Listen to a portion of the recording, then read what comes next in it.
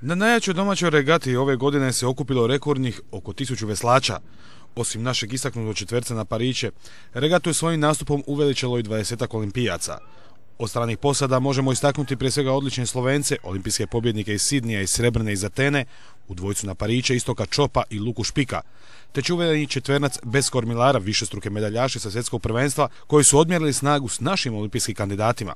Posebno je bilo zanimljivo gledati međusobne dvoboje braće Sinković, Martina i Šajna u konkurenciji samaca i dublova, gdje su imali prilike pokazati tko je u najboljoj formi. Kao i svake godine, tako i ove. U sklopu regate su se održali dvije memorialne utrke dvojaca bez kormilara za juniore pod nazivom Niko i Jure. Dva mlada veslača, veslačkog kluba Kroacija, smrtno stradala u domovinskom ratu te osmjeraca mlađih juniora pod nazivom Zdravko Grahovac, po dugogodišnjem veslačkom djelatniku i predsjedniku. Otišli smo na Runa i poslali par pitanja uvijek zanimljivom sugovorniku, direktoru regate Srećku Šuku. Zadovoljni smo već sada, zadovoljni su i gosti, to nam puno znači. I neko je baš rekao i to ljudi koji puno godina već dolaze za redom, da je to drugi puta da je lijepo vrijeme. I masovnost i kvaliteta regate zadovoljava opet za ilustraciju jutro od 8 sati svake 4 minute eliminacije do pola 12 i od 1 nadalje do pola 5 finale svakih 5 minuta, znači puno trka, puno napora organizacije regate, ali na koncu i puno veselja kad dobimo pozitivne prvotne informacije od prijatelja i gostiju. Što ova je regata donijela u odnosu na protekle?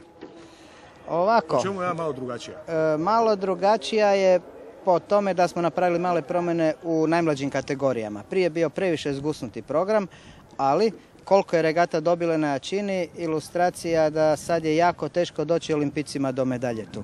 A kad imamo jako puno utrka kadeta mlađih kategorija, znači onda se regata oduži tako da smo to komprimirali, nagradili djecu sa više medalja, a oni stariji koji recimo 10 godina za redom više ne mogu doći u finale ili bolje onda da se drugim stvarima bave.